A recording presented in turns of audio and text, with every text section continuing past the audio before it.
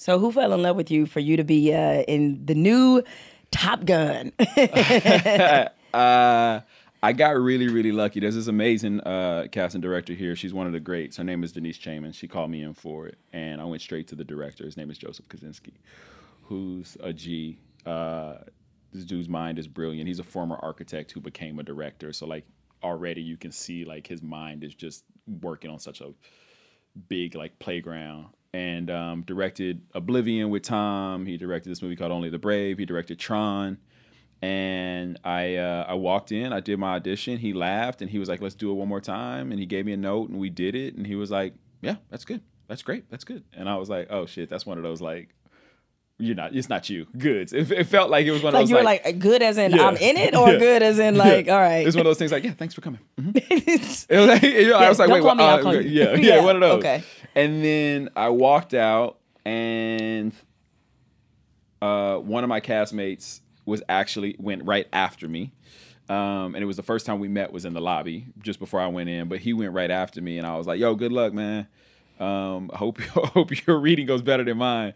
And I walked out, and I was like, "I'm tripping. My reading was fine." Like he laughed, he gave me a note. He didn't have to do that. If he didn't care, he wouldn't have did that. And uh, I think the next day, one of my agents called me and was like, "Tom Cruise is gonna watch your tape." And I was like, "What?" He was like, "Yeah, they're sending your tape to Tom." And I was like, "I don't even know. Like, Tom Cruise has email. Like, what is that even like?" He's not email himself. Like, what does that even mean? It's probably some shit like Tom Cruise at gmail.com.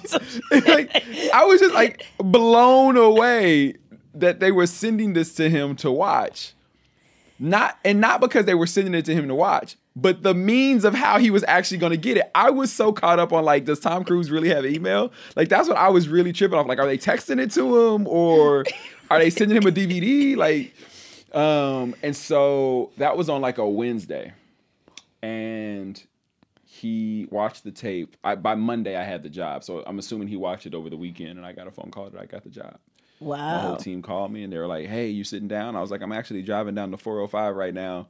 Because I was in the middle of remodeling a house, and I was like, I'm driving down the 405 right now to a plumbing store, and they were like, "Well, you booked Top Gun, so buy the whole store." And I was like, "What?" like, I just, I lost it, man. It was crazy. It was insane. Um, so please tell us that they ain't gonna play you like they did the other brother in the original Sundown. How you gonna have a, the one black character? His his call signal is Sundown.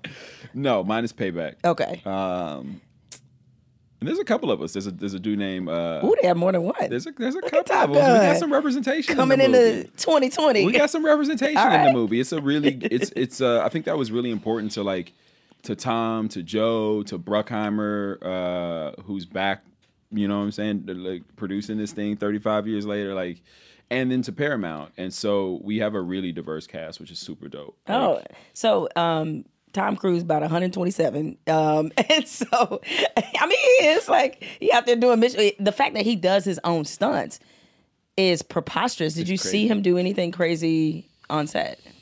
Well, not on set, but you definitely like you know the really cool thing about working with Tom is like he really he was very giving. Like at, at and I don't know that you would have that same experience with someone who's had a 40 year career as being the man like Tom, right? Like he was insanely kind with his time, with stories. If you were like, "Yo, tell me how you booked a few good men." Tell me how you booked taps, like whatever it is, right? And like he would sit there and talk to you, talk you through the whole story and like remember it like it was yesterday. Like hmm. that's what's even more crazy is like the way he would recall names and the room that he was in and where the office was in LA when he went. You know what I mean? And and he would talk you through all those things and just as a as a filmmaker, I think he became kind of a mentor to all of us because he was always like, you know, we're using this lens and this is the reason that we're using it and we're, you know, we're uh we're shooting this in this way for this reason. Um and that was really special. Like I feel like you don't you don't get that that often. It- But is- there was no there were no stunts that he had to do. Because he's an instructor, I believe, in this one. He yes, he comes Okay, back to teach a class. He comes back yeah. to teach her. Yeah. Um, I mean, but is there a part of you? And I don't know. I mean, you.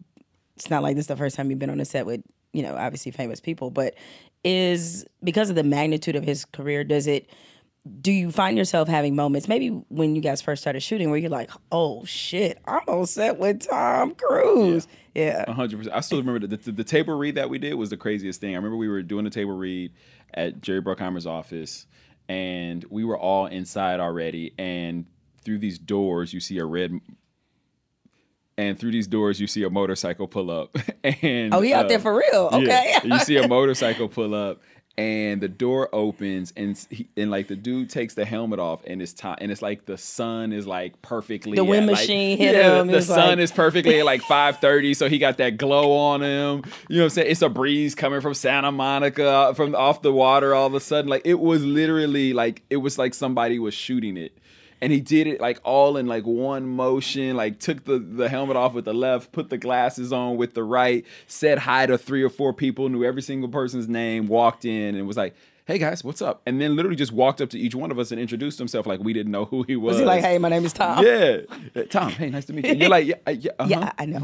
I got you. but it was like you know when we actually started filming yeah you're you're like okay so what is he doing that's what he's doing okay okay you're sort of studying. yeah, you're like, kind of studying. You're like, well, why is he doing that? Is there, what's he thinking about? And then you realize that you're in a scene with him, and you're like, yeah, yes, sir. Yeah, yes, yes, Maverick. Like you, you know what I mean. You realize that you're acting too.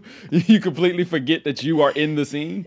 Um, but yeah, I mean, it was. It's definitely like.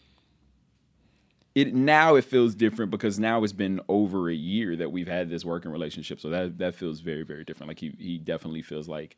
Uh, uh, someone that I would call and text and email for a various amount of reasons. Because you gotta have an email now, because since that's out. Now I know it's now real. you know he emails, But right? yeah, you know, it's it's it's it's um there is still some of those moments where you're like, yo, that was Tom Cruise. That was Tom Cruise. That's TC. See, my corny ass, I'd be tempted to be like, "You want answers? I want the truth." oh man, I mean, his- his career is it's amazing that he's Yeah. been able to particularly stay in the action lane for as long Yeah. as as he has. Um, you know, it, not that you would have turned the role down, but it, you have any reservations or reluctance or anxiety about the fact that I know Tom Cruise is is in this new version of Top Gun, but it is messing with a, a movie that a lot of people really love.